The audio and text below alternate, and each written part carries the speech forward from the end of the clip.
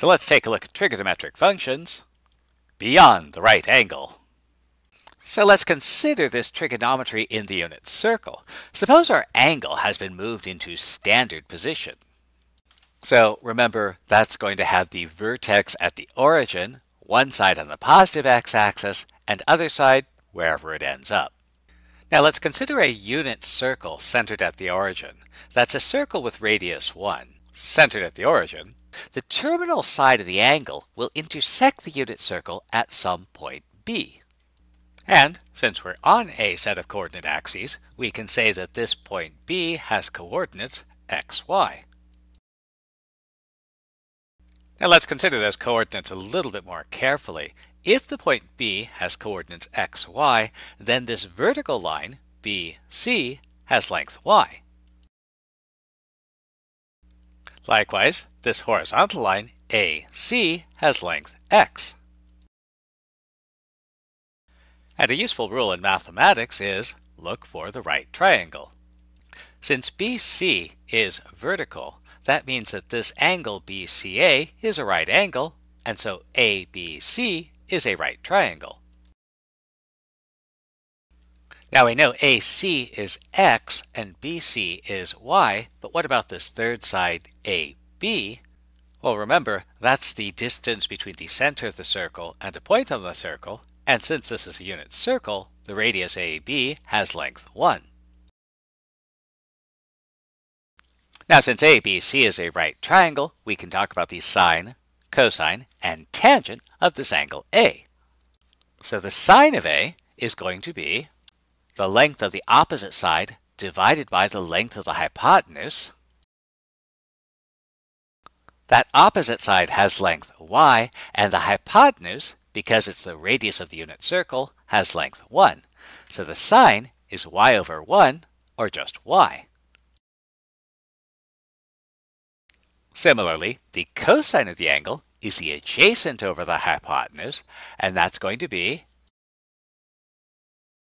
x over 1, or just x. And finally, the tangent is going to be the opposite over the adjacent, and that's going to be y over x.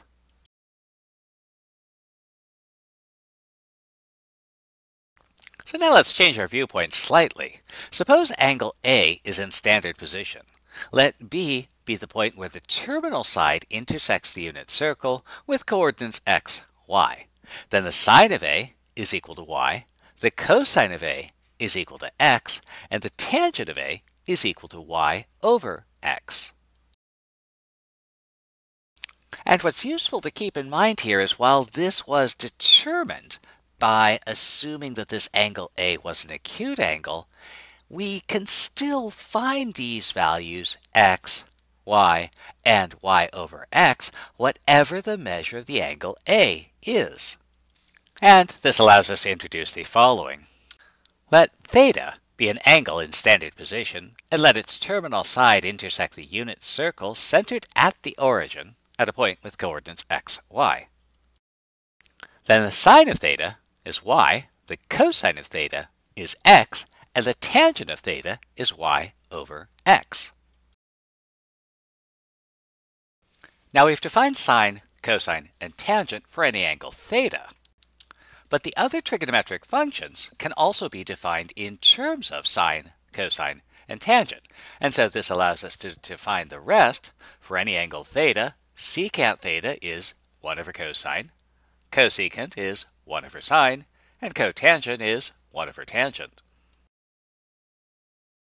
So let's go back to our nonsense question. What is the sine, cosine, and tangent of 120 degrees? And so what we might do is we might start by drawing an angle with a measure of 120 degrees in standard position.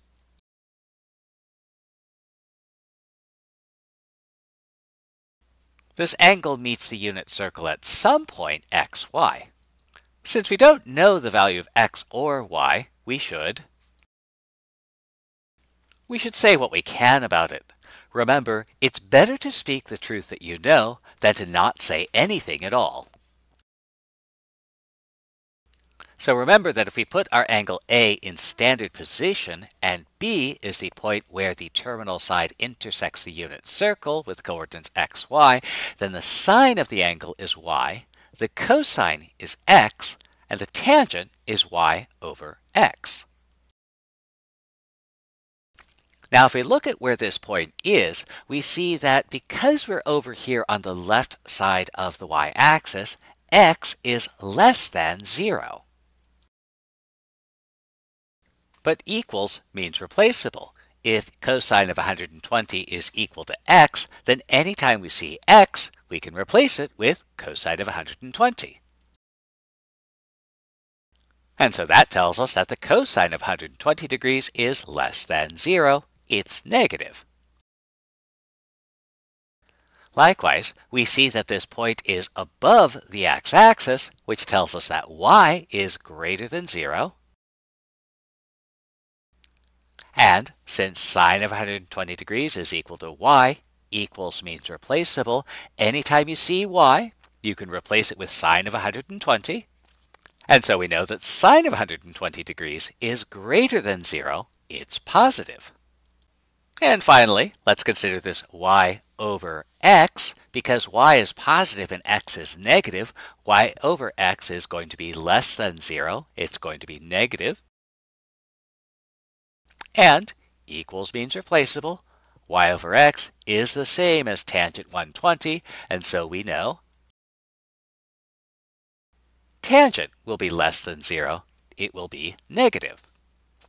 While we could stop here, there's a useful thing to remember. Knowledge is power. Answer the related questions. In this case, we've learned something about the cosine, sine, and tangent of 120 degrees. But we know that the sine, cosine, and tangent are related to the secant, cosecant, and cotangent. They are, in fact, the reciprocals of these functions. And so once we know the cosine of 120 is negative, then we know that the secant, which is 1 over cosine, is going to be negative. Likewise, we know that the sine is positive, and so the cosecant is going to be positive. The tangent is negative, and so the cotangent is negative.